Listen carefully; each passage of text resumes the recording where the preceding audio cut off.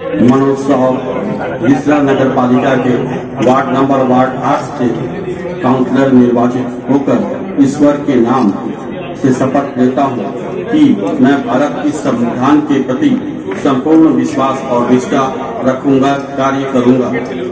और मुझे जो भी दायित्व दिया जाएगा, मैं उसे पूरी ईमानदारी से पालन करूँगा। धन्यवाद।